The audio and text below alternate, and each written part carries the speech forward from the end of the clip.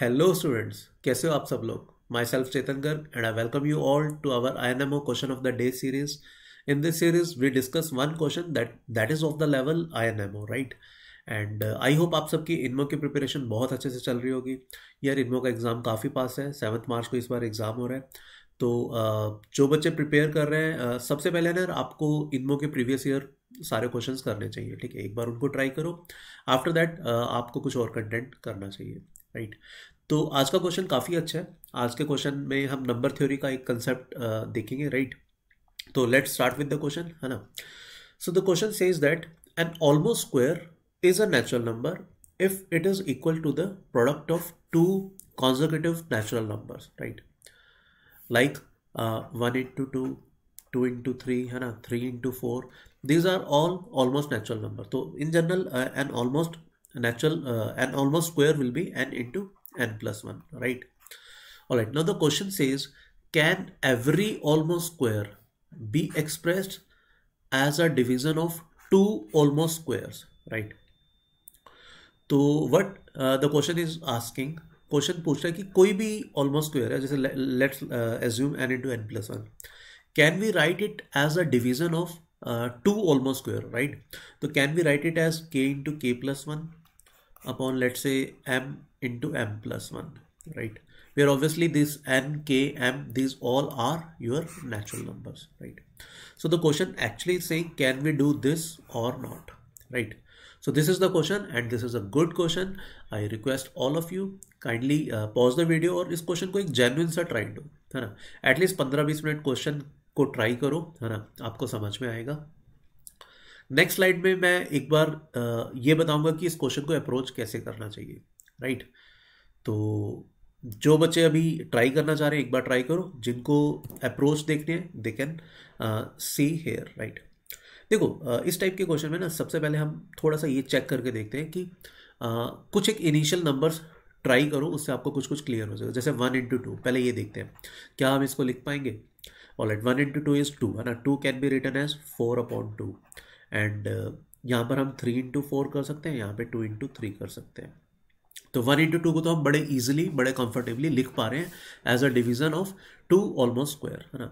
Now let's talk about two into three two into three को भी हम बड़े इजीली लिख पाएँगे। आप इन दोनों को क्रॉस मल्टीप्लाई कर सकते हो इन दोनों को इंटरचेंज कर सकते हो। तो two into three this can be written as three into four upon one into two right ठीक है? तो ऐसे एक बार है ना हम थोड़े से और एक दो नंबर्स लिख के देखते हैं। शायद हमें वहाँ से कुछ हिंट मिले। राइट तो let's now try to convert three into four obviously three into four यहाँ से नहीं हो पाएगा बिकॉज़ अगर हम टू इंटू थ्री को क्रॉस मल्टीप्लाई करते हैं तो ये टू ऑलमोस्ट स्क्वायर्स के प्रोडक्ट में हो जाएगा। We want it to be expressed as a division of two almost square है ना? तो थ्री इंटू फोर को लिखने की कोशिश करते हैं। तो जैसे ये one into two three three into four हो रहा था टू इंटू थ्री फिर से थ्री इंटू फोर हुआ था, है ना? तो थ्री इंटू फोर अगर हम फोर इंटू फाइव करते हैं तो वो तो बात बनेगी नहीं बिकॉज़ इस फाइव को कैंसिल आउट करना पड़ेगा और नीचे हमें फाइव चाहिए होगा। तो फाइव इंटू सिक्स करेंगे या इंटू फोर करेंगे तो वो ऑब्वियसली थ्री इंटू फोर के इक्वल आ नहीं पाएगा। तो फोर इंटू फाइव तो नहीं ऑब्वियसली फाइव इंटू समथिंग भी नहीं, है ना? Let's try it six into seven but again seven is a prime number तो हमें सेवन कैंसिल आउट करना पड़ेगा तो सेवन को नीचे रखना पड़ेगा। तो सिक्स इंटू सेवन भी नहीं वर्कआउट करेगा। सिमिलरली सेवन इंटू समथिंग भी नहीं कर पाएगा बिकॉज़ सेवन को हमें नीचे रखना पड़ेगा सेवन को कैंसिल आउट करने के लिए। ठीक है तो लेट्स ट्राई फर्दर एट से अगर हम स्टार्ट करते हैं तो eight into nine yes eight into nine रख सकते हैं बिकॉज़ थ्री का भी फैक्टर आ रहा है नाइन और फोर का भी आ रहा है ना। तो यहाँ एक थ्री चाहिए हमें तो एक थ्री कैंसिल आउट करना पड़ेगा फोर चाहिए तो एक टू लगाना पड़ेगा। परफेक्ट है। तो थ्री इंटू फोर हम लिख पा रहे हैं इस तरीके से। राइट आई होप ये सबको समझ में आ रहा होगा। ठीक है तो अभी तक हमने वन इंटू टू एक्सप्रेस किया टू इंटू थ्री एक्सप्रेस किया, है ना, और थ्री इंटू फोर एक्सप्रेस किया। अब यहाँ से ना कुछ हिंट लेने की कोशिश करते हैं, ठीक है? अगर आप थोड़ा सा ध्यान से देखोगे one two two three one two two three two three three four है ना? तो ये काफ़ी हद तक कैसा लग रहा है? मतलब अगर मैं इसको कुछ भी एक नेचुरल नंबर के मान रहा हूँ तो ये काफ़ी हद तक लग रहा है k into k plus one into k plus one because two three three into four तो इंटू के प्लस टू तो क्यों ना हम एक बार इस नंबर को थोड़ा सा ढंग से देखने की कोशिश करें, है ना? तो ये एक हिंट है आपके लिए लेट सी आप इसको कुछ वर्कआउट कर पाते हो या नहीं, ठीक है? अब नेक्स्ट स्लाइड में मैं इसका एग्जैक्ट सॉल्यूशन बता रहा हूँ, ठीक है? तो जो अभी कुछ कुछ वर्कआउट करना चाहते हैं, वो यहाँ से वर्कआउट कर सकते हैं राइट एक बार ट्राई करो कि यहाँ से हमें क्या कुछ एक अच्छी चीज़ मिल पाती है या नहीं, ठीक है? मैं नेक्स्ट स्लाइड में यहीं से कंटिन्यू करूँगा but yes that will contain the solution right तो अब हम देखते हैं जैसे हम के इंटू लेट से हम डिस्कस करते हैं k plus one into k plus one है ना?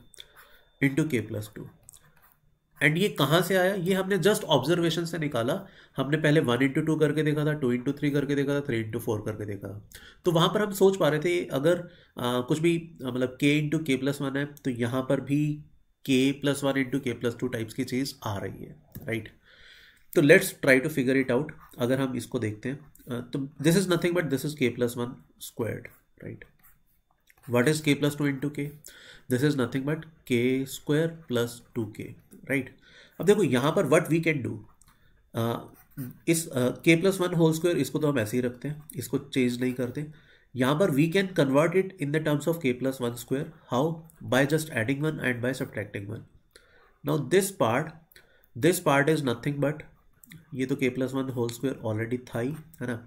Now this part has become k plus one squared minus one now as you can see these are two consecutive integers right k plus 1 square minus 1 into k plus 1 square right तो अभी देखो if I divide this if I take this on the right hand side so what I have reduced the quotient to k into k plus 1 this has become now k plus 1 squared minus 1 into k plus 1 squared right whole upon k plus one times k plus two right this is a product of two conservative natural numbers right and this is obviously the product of two conservative natural numbers this is also the product of two conservative natural numbers right तो अभी हमने क्या कर दिया? हमने एक almost square को division of two almost squares में एक्सप्रेस कर दिया। And this is clearly a general almost square so, our question was, can every almost square be expressed as a division of two almost squares? The answer will be yes, we can express. And this is the way. Right? तो I hope आपको ये question समझ में आ गया होगा। And I hope आपको, सबसे important है, आपको अप्रोच क्लियर होगी होगी कि कैसे करना है। यार ऑब्वियसली देखो, इनमें में आपको फोर आवर्स में सिक्स क्वेश्चन करने होते हैं राइट एंड इतना जल्दी नहीं स्ट्राइक करता है बट यस थोड़ी सी चीज़ें आपको टाइम देना होगा है ना? Within half an hour और so you will definitely get some hint है ना? वहाँ से आपको चीज़ें मिल जाएँगी ठीक है?